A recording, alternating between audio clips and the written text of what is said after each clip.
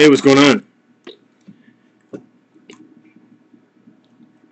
As a result of technology, it always helps me to think that I'm a little bit more, you know, on the, the higher scale of life.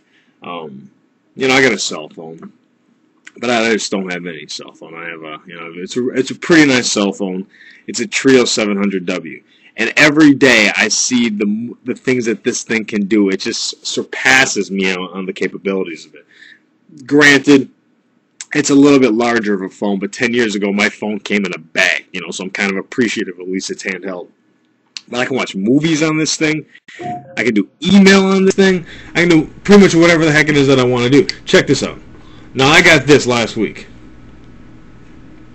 It's called the Slingbox. If you haven't seen it, go check out slingmedia.com. But it's going to start up here in a second. You'll love this. What the hell was that?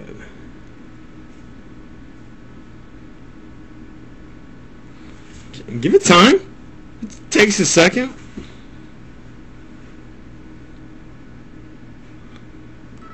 Check that out.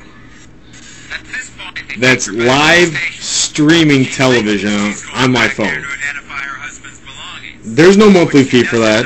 I just buy the Slingbox, plug it up to my internet in the basement, plug it up to my cable, and I'm good to go. Sends it right to my phone. Cost it was about $160 for the sling box, about $30 for the Sling player, and you'd have to have an unlimited data plan on your phone. And I have Verizon's 45 bucks a month or something like that. So I, you know, so I guess there is some type of monthly cost to it, but you can't beat something like that. I can watch it whatever the heck I want, whenever I want. I just did it today. I had to drop my car off over at the the Toyota dealership because I need a new windshield, and um, while I was waiting for my loaner to show up, I'm sitting there watching TV on the phone. I thought it was kind of neat. Wanted to, you know, wanted to brag a little bit of, you know, the technology I got.